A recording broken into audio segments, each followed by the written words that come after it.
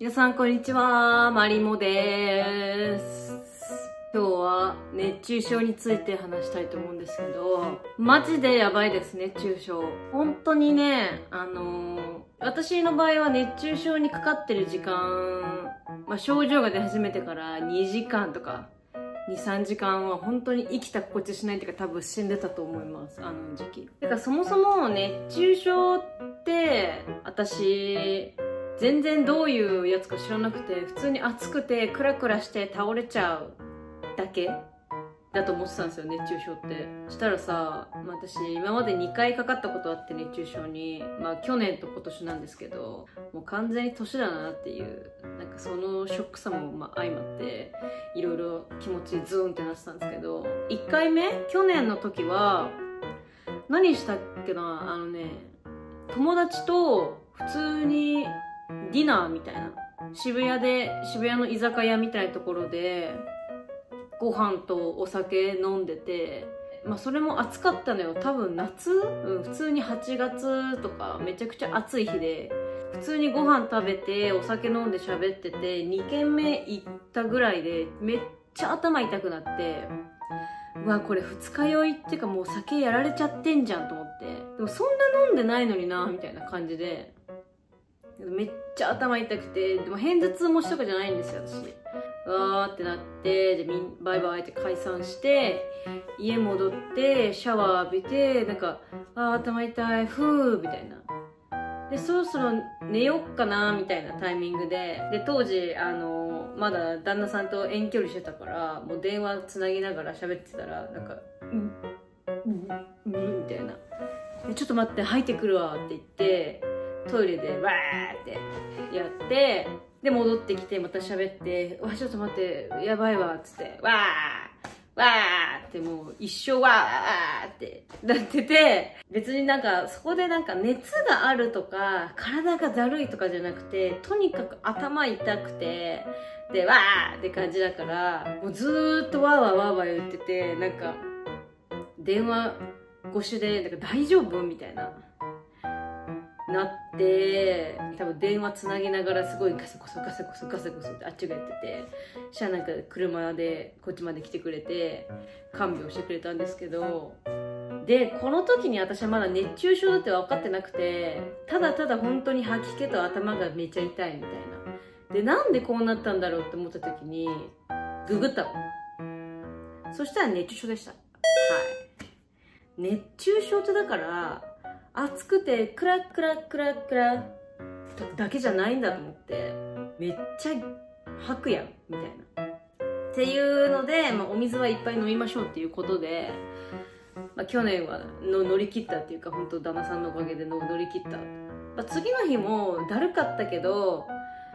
なんかまあまあまあ別に熱とかないし次の日にはまあ大体復活みたいな感じで。なんかその時の私結構あの嘔吐する時声出すタイプなんだけど。でなんかその声の出し方がこれ分かる人には分かるんと思うんですけどあナルトのオロチマルっていうじゃないですか。でそのオロチマルが口から蛇を出す時のうわーに似てるっていうすげえいじられた話っていう話なんですけど。でオロチマルが結構炸裂しちゃって。で今年。いやもう去年あんなんだったからもう今年虫どこ行った？で今年はその生徒の生徒ファミリーたちと外でバーベキューするってなっててでその生徒の家のガレージみたいなところで、ね、あのバーベキューしててで日陰だったの。日陰だったけどまあさ今年ってマジで暑いじゃないですか。私この私がねもう日傘でデビューしちゃったから私日傘さしてる人って思ってたんですけどさしちゃった。さすがに。でも広いところでね道路が広いところで刺すたまになんか渋谷とかさぐっちゃぐちゃぐちゃぐちゃしてるところでさこうやって邪魔じゃん普通に。そういうところでは刺さないって決めてて自分の中であので刺してる方いいと思うんですけど。で、まあ、日傘デビューしたとかなんかえ何の話だっけ？であそうそう今年の夏はめちゃくちゃ暑いから日陰でもめっちゃ暑かったの。でそこでお酒も飲んでさ、まアルコールって水分にならない水分だけどこう水分補給にはならないからっての分かってんだけど暑いとやっぱビールとかさサワーがカーって美味しいから普通に飲んでたの。で、まあ、去年熱中症かかったっていうのも忘れてて途中らへんであれちょっとやばいかもみたいな。ちょっと暑すぎてこうなるかもって思ってたのね。ちょっと休憩とかしたんだけどで何時間やったかな？12時半から結局6時ぐらいまでずっと外にいてで水浴びとかしたんだけど解散して電車乗ったぐらいにまた頭痛くなって頭痛いなーみたいな。でも私バカだから去年かかったことを忘れてるからえー、うちそんな飲んでないのになとか言っちゃって。そんなな飲んでないのになんでこんな頭痛いんだろうみたいな感じになって家でぐうたらぐうたらしてたらやばい吐きそうってなって最初は結構「わっわっ!」ぐらいで終わったのあ、オッケーオッケーオッケー大丈夫大丈夫と思ったら、もうそっからまた止まらなかったの。もうずーっとオロチマル。うえー、みたいな感じで、本当に辛くて頭も痛いし、で、今回は、本当ね、ごめんなさい。本当にごめんなさいなんだけど、下も、下もすごかったの。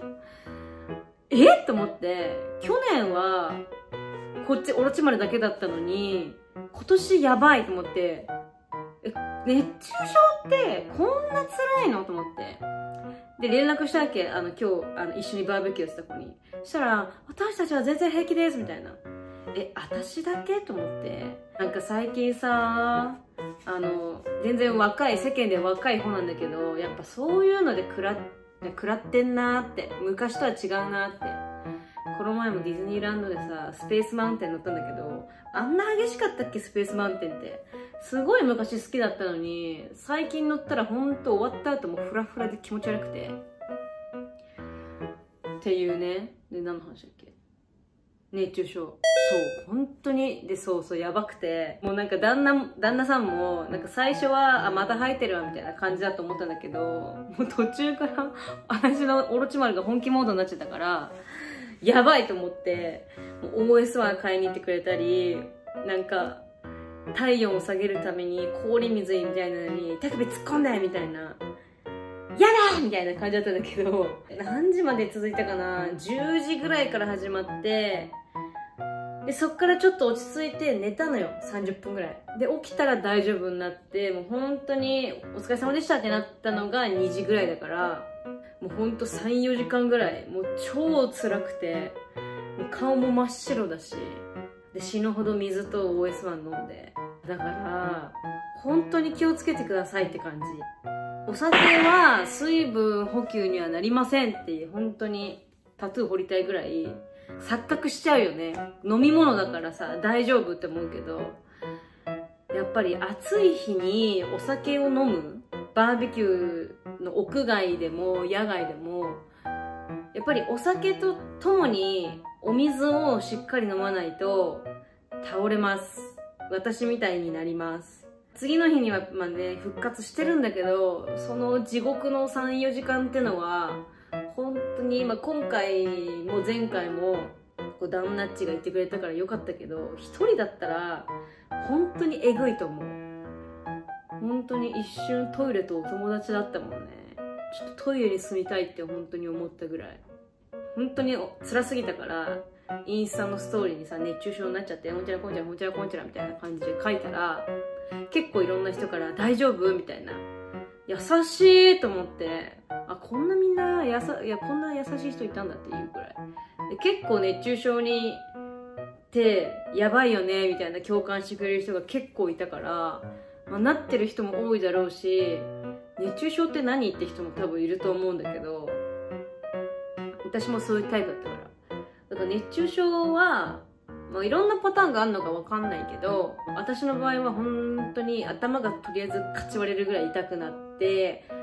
痛いだけかなと思って、ふーって家に帰ったら、わーってなるから、あの、危険です。本当に。お酒飲む飲まないじゃなくて、本当に、夏、暑い夏の日はもう水が大事ですね。アクエリとか OS1 とかもうしっかり飲んだ方がいいんだなって。喉が渇く前に飲むっていうのがね大事らしいですけども。はい。この前のディズニーの YouTube からこの落差すごいんですけど。とりあえず本当にこの夏の思い出熱中症に再びかかりましたっていう感じで。でも私はバーベキューとか外で飲むのとか大好きだからやめはしないですけど、まあ、これからももうちゃんとしっかり水飲まないとね。マジ今年の暑さやばいよ本当に。また虫いた。虫も多いしさ。サウナみたいじゃない？でやっぱりあの人がいない私の住んでるところはあんまりね人が密集してないからまだいいけどそっから渋谷とか新宿とか行くともう人の熱気ともわもわしたのでほんと気持ち悪くなっちゃうから自己管理というか、まあ、水飲んで、まあ、迷惑かからない程度に日傘さしてで本当に辛かったらすぐ屋内のクーラー効いてるとこ行ってとかご注意くださいって感じ。熱中症マジ辛い。本当に辛いよ。どんだけもう出るものないんですけどってぐらいわーって全部出るから。でねこれは余談っていうか余談なんですけど次の日その熱中症のになった次の日に結婚式のドレスの試着だったから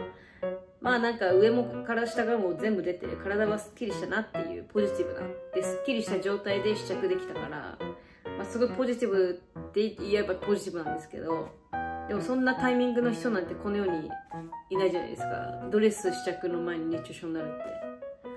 だから熱中症には気をつけてください。本当に。っていうね最近の本当本当キンキンのあの出来事でした。みんな水分補給大事にこの夏乗り切ってください。ではまた会いましょう。ああ